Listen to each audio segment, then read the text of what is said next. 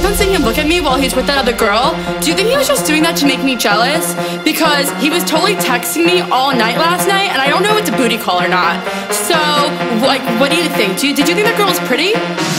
How did that girl even get in here? Do you see her? She's so short, and that dress is so tacky. Who wears cheetah?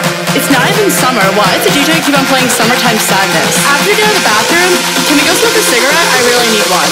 But first, let me take a selfie.